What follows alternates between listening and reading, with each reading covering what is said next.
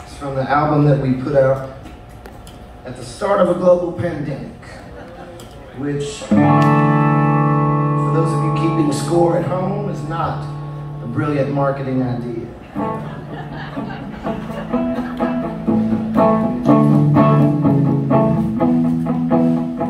But it doesn't mean I don't love the song.